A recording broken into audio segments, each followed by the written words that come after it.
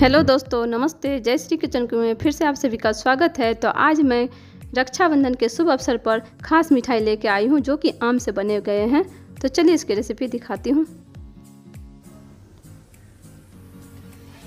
तो ये देखिए, सबसे पहले मैं दो आम ली हूँ। मालदा आम है, बहुत मीठा आम है, गुद्दा वाला आम है, और ये चीनी ली हूँ सौ ग्राम, और मिल्क पाउडर ली हूँ। और ये है नारियल का भूसी या नारियल का बुरादा, जो बोलिए तो ये मैं ले ली हूँ ढाई सौ ग्राम। तो मैं दिखाती हूँ, ये मिठाई बहुत ही अच्छा बनता है तो इसमें आम का फ्लेवर बहुत अच्छा आता है। तो ढाई सौ ग्राम नारियल का बुरादा ले ली हूँ एक बर्तन में।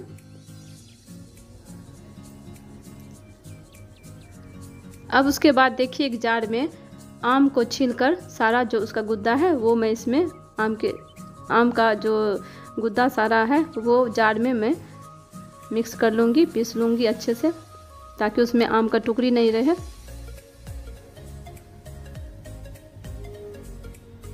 तो ढाई सौ ग्राम नारियल के बुरादा में दो आम, आधा के जी आम लग जाता है, जिससे अच्छा फ्लेवर आता है।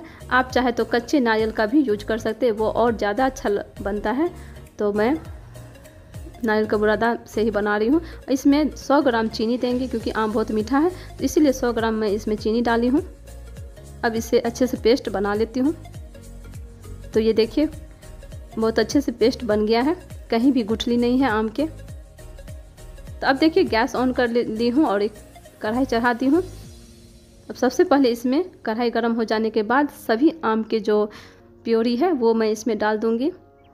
तो ध्यान रहे तेज़ आँच पे नहीं इसे चलाना है, मीडियम आँच पे इसे चलाना है, पकाना है। वो भी ज़्यादा देर नहीं पकाना, नहीं तो सारा आम का फ्लेवर जो है वो हट जाएगा। तो ये देखिए थोड़ा सा खदकने लगा इसमें। बुलबुले आने लगे हैं। तो अब इसमें मैं मिल्क पाउडर डालूँगी।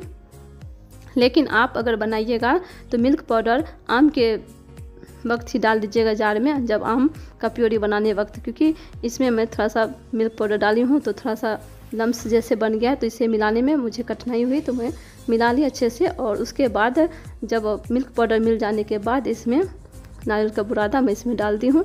चाहे तो नारियल का बुरादा जब डालिए तो उसी टाइम में मिल्क पाउडर भी डाल दीजिए तो दिक्कत नहीं होगी। तो चलिए मैं फिर भी थोड़ा मेहनत लगा तो मैं बहुत अच्छे से मिल्क पाउडर को मिला ली हूँ। और ये सभी मिश्रण अच्छे से मैं चला लेती हूँ, ताकि कढ़ाई में चिपके नहीं, थोड़ा सा टाइम लगेगा। तो सारा जब इसका रस जो है वो सोख लेना चाहिए। समझ में आ जाना चाहिए जो अब ये लड्डू बनने के लायक हो गया है। तो ये देखिए, सभी कढ़ाई से अलग हो गए हैं। तो ये देखिए, देखने से पता चलता है ये तैयार हो गया है। ये लड्डू बनाने के लायक हो गया है।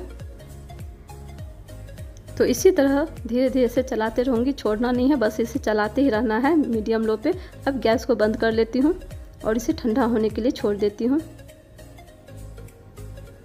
तो ये मिठाई बहुत ही टेस्टी बनता है। इस रक्षाबंधन पे ज़रूर बनाइए, बहुत सारा बन के तैयार हो जाता है। तो ये देखिए, बहुत अच्छे से ठंडा हो गया है। तो अब मैं इधर दो चम्मच के आसपास मैं चीनी ले ली हूँ, इसका मैं पाउडर बनाऊँगी, दरदरा पाउडर बना ली हूँ। तो ये देखिए, दरदरा पाउडर बनाना है। तो इसे एक कटोरी में निकाल ली हूँ।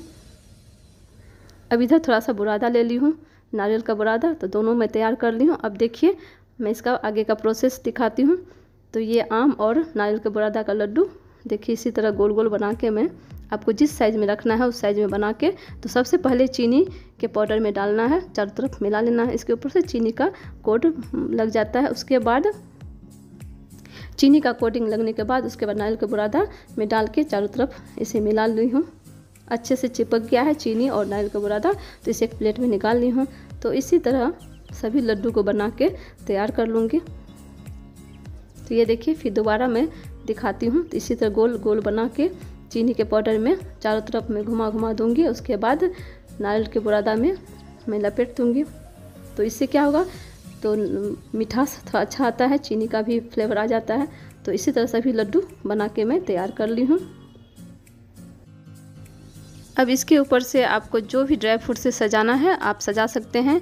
लेकिन मैं बादाम से सजा रही हूँ। आप चाहे तो काजू किशमिश से भी सजा सकते हैं, लड्डू को। और इसे एक बॉल में निकाल रही हूँ। इसे एक घंटा के लिए फ्रिज में ज़रूर रख दे। उससे क्या होगा, ज़्यादा टेस्टी बनेगा। तो ये आम वाला मिठाई बनकर रेडी है। तो लीजिए आम वाला नारियल के लड्डू बनकर रेडी है। अगर ये वीडियो आप लोग को पसंद आया हो तो इसे लाइक करें शेयर करें और मेरे चैनल जयश्री किचन क्वीन को सब्सक्राइब ज़रूर करें। मिलती हूँ अगले वीडियो में। तब तक के लिए बाय बाय